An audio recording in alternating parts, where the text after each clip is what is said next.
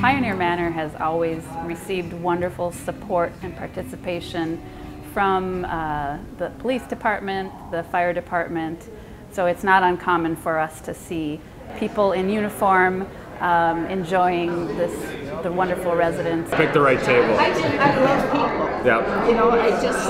And Barb's the troublemaker, so I fit in on that side. So I'm the talker on this Yeah, side, and I'm the troublemaker on this side. Tracy Shimmick from the city of Bear Lake was uh, the one official invitation we sent out, um, but we sent that out with the hope and understanding that she could spread the word throughout the city public um, public safety departments and she did that, and she did that well.